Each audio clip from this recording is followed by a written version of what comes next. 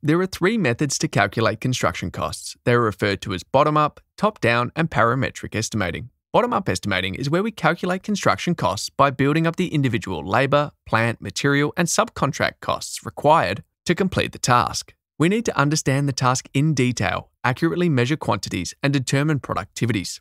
Top down estimating is where we calculate construction costs by looking at how much similar activities have cost in the past. For example, if building a new train station previously cost $2 million, we can estimate that constructing another will also cost $2 million.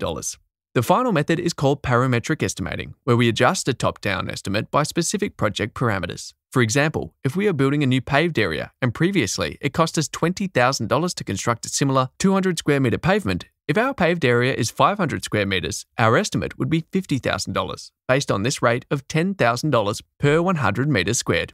If you want to learn more about construction cost estimating, check out our online course.